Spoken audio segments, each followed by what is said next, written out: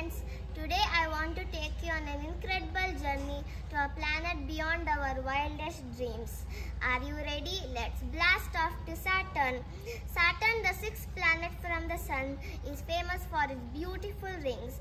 Just imagine a planet with beautiful rings that sparkle and spin around it. It's like being on a special merry-go-round in outer space. But Saturn has even more surprises. Saturn is like a painting with colors like yellow, orange and even a hint of pink.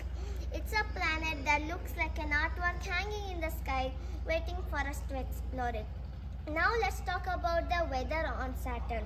Brace yourselves because this is where it gets really exciting. Saturn has huge storms that swirl around and create gigantic hurricanes. These storms are much bigger than any storm we've seen on Earth. Just imagine the thrill of watching the swirling storms from a safe distance. It would be so exciting. And guess what? Saturn has more than 60 moons. Can you believe it? Just imagine.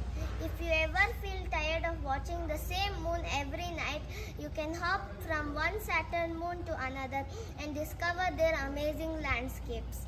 Who knows, maybe we'll even get to meet some friendly aliens there. But you know what excites me the most about Saturn? It's the sense of mystery that surrounds it. There's still so much we don't know about this amazing planet. By visiting Saturn, we could learn about the universe and make new discoveries. So my friends, if I had the chance, I would choose Saturn as the planet I want to visit. It's a planet that sparks my imagination and fills me with sense of adventure. Thank you for joining me on this cosmic journey. Remember, the universe is full of wonders waiting for us to explore. Keep dreaming big and reaching for the stars.